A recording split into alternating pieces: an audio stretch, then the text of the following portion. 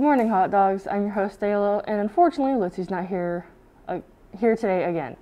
Thanks for tuning in to September 18th for your hot dog announcements, Girl Scout election, NHS, and more. Now, onto the pledge.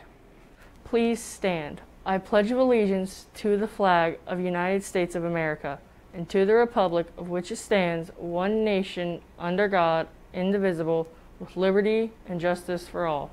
I know by now y'all must be really tired of hearing me talk about the election, and I mean really tired. But once again, it's extremely important. The 2020 election is just around the corner. Students that will be 18 by November 3rd can register to vote online. You just need a Indiana you just need a valid Indiana license or ID. Register now by visiting indianavoters.in.org. Click register to vote and complete the short application. The deadline to register is October 5th. I highly recommend that you register. Attention, NHS! Senior leadership voting is open until midnight tonight. Select three candidates. Now, on to sports with Elijah. Hi, I'm Elijah. The boys tennis team fell to Rossville 4 1 last night. Chase Thomas received his third win in a row this week and earned the Dogs their point at two singles. Nice job, Chase. Last night, the ladies soccer team snapped streak against the Chargers.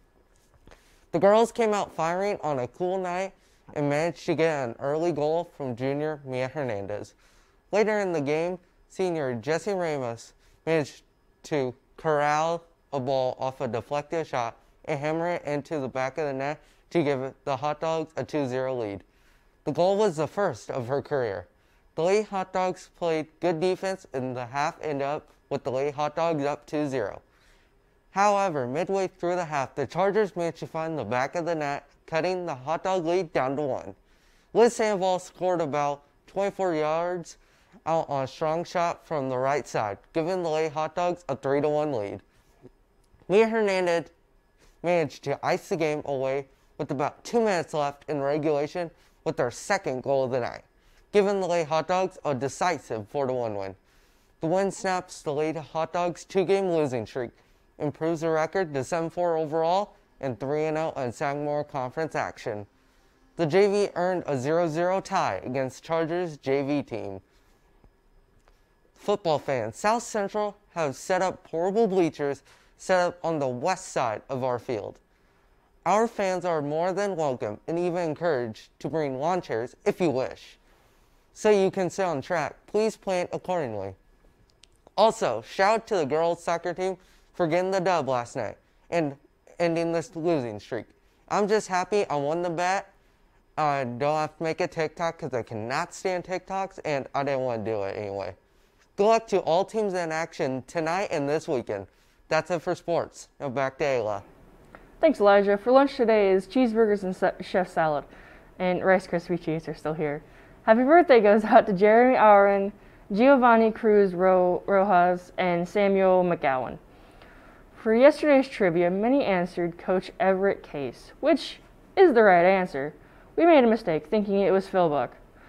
But on further review, Case was the answer. And Miss Russian got it right. Got the point for being the first answer.